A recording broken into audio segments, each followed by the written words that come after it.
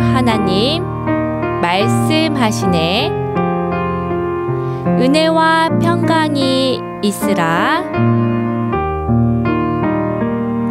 하나님 사랑 이웃 사랑 생명과 복을 택하라. 사랑의 하나님 내 마음에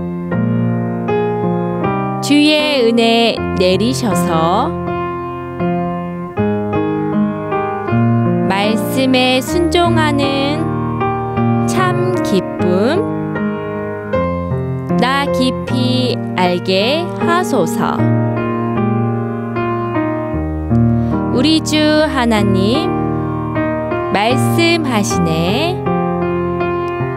은혜와 평강이 있으라 하나님 사랑 이웃 사랑 생명과 복을 택하라. 사랑의 하나님 내 마음에 주 예수 마음 채우소서. 이웃을 내 몸같이 사랑하며 온전한 생활 되도록